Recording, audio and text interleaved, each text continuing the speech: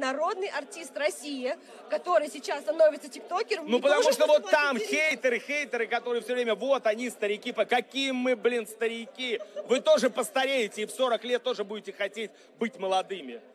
Скажем спасибо этим хейтерам на самом-то деле. Спасибо надо говорить. Сейчас нас с тобой шиперить будут. А а я, я только за. Я твой краш на сегодня.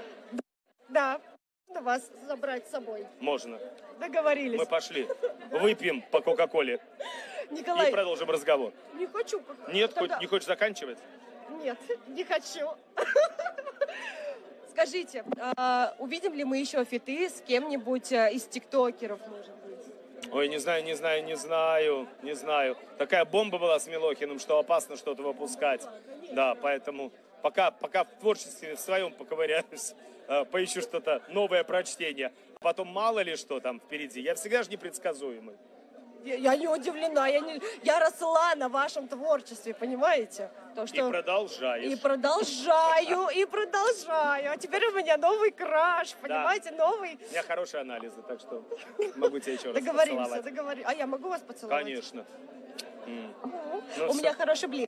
Поэтому я вот У могу тебя еще раз- очень терпкие губы. Присасываются. а, слишком горячо, мне кажется. Да, есть тебе. Ах, какой вы, Николай, все-таки, а? Вот сразу видно, народный артист России. Да. И еще один у меня вопрос. А. Какие планы у народного артиста России на 2021 год? У меня юбилей. Вы- Мне 45. Давайте скажем, 18. Это в другом месте.